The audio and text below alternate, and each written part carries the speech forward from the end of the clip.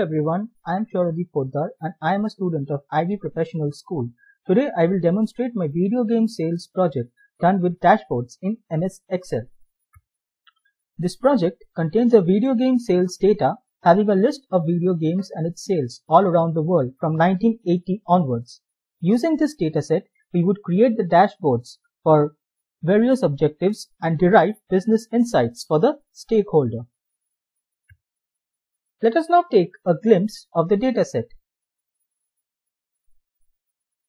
The first column is the ID column followed by the name of the games, the platform or console of their release, the year of the release of the games, the genre of the games, the publisher of the games, the North America sales, the Europe sales, the Japan sales, and the sales from the rest of the world.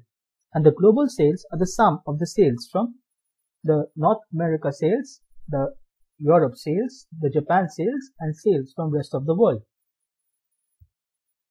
Coming to the objectives, from the point of view of the game maker or publisher, we would like to find out the region-wise sales, the top 5 genres, platforms and publishers having the highest sales and we can do that for a given region as well. Also, we would like to find out the trend of the number of games released and the top platforms and the top publishers releasing the highest number of games. Let us now look at the sales dashboard which has been created from pivot tables using a sales summary table derived from the original dataset. The pie chart here gives the percentage contribution to global sales from each region for all genres, platforms and publishers. We see that North America has the highest sales followed by Europe, Japan and the rest of the world. In genres, Action, sports, shooter, role-playing and platform are the top 5 in terms of sales. Action and sports are the top two genres everywhere, whereas in Japan, role-playing plays a very big role in sales, as can be seen. Among the top 5 platforms overall are PS2, X360, PS3, WII and DS. In Japan though, PS and SNES are in the top 5 in sales. Among the top 5 publishers overall in sales are Nintendo, Electronic Arts, Activision, Sony Computer Entertainment and Ubisoft. So, the insights which we can draw from the sales summary dashboard are that a game maker or publisher can target North American or European markets for higher sales. Also, releasing games in the top 5 genres in sales can also lead to higher sales. Coming to the platforms, the top 5 platforms in sales indicate that most video gamers possess these platforms and hence the sales are high. Thus games must be released on consoles or platforms which are more compatible to gamers.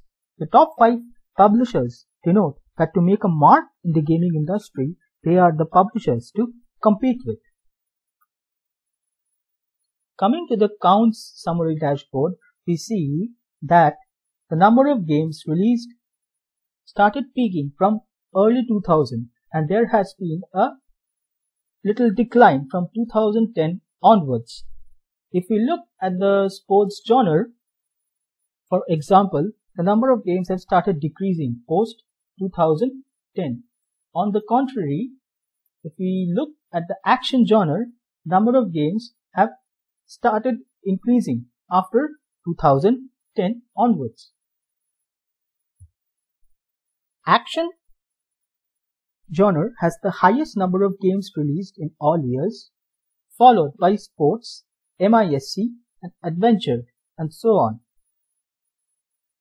In platforms, DS, PS2, PS3, WII, X360 are among the top 7 platforms in terms of games released.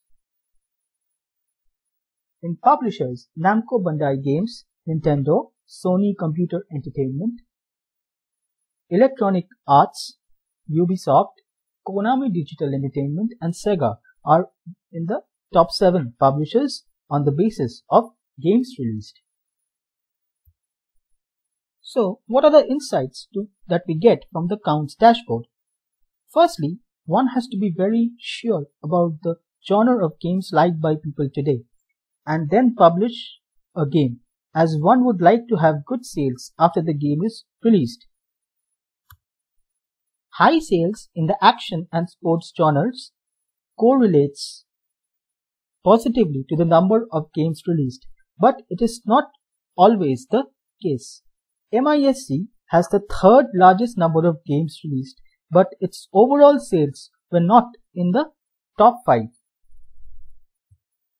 It can be seen that the adventure genre games have been on the rise in terms of release in the last decade.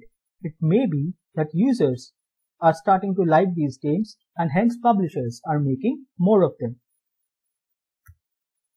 Platforms for the highest release of games also had highest sales. So these are the common platforms for release of games and a publisher must keep that in mind. For few of the top 7 publishers, the sales are the highest, indicating that the gamers like their games, hence these publishers publish more. On the other hand, for example, Namco Bandai Games has maximum number of games released, but their sales are not in the top 5. Maybe they publish region-based games or the games are not up to the mark according to users. Thus, the video games industry is a very competitive industry and the game maker or publisher has to study it very well before releasing games and in order to have higher sales. Thank you.